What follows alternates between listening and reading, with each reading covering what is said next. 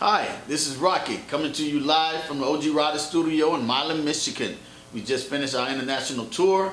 We're talking with some of classic car owners about their restoration and plans for the future. We'd like to give thanks to our sponsors, PageBuzz.com, Website Construction.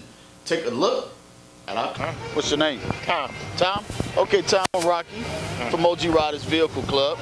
We're out here just taking some videos of some nice cars. Would you like to tell us about that? Well, I've, it's a 1956 sedan delivery. They made less of them than they did uh, Nomad, and I've owned it three times. Really? Yeah, So it's been out three times and back. three times the back. I got three times the charm on the back door.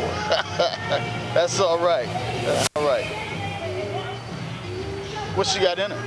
It's got a 350 with uh, three 350 trans. Highway worthy? Yes, it's got a it's highway.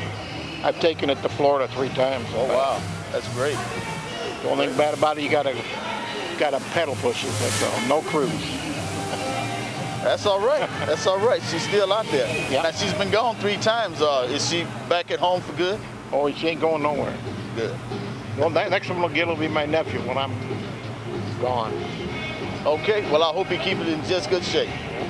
Well, thanks, Tom. I want to open that. Okay. I'm taking look at the door. Here we go again,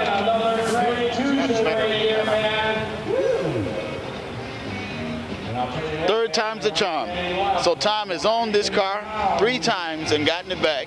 He said, that's it. She's at home for good now. Going nowhere.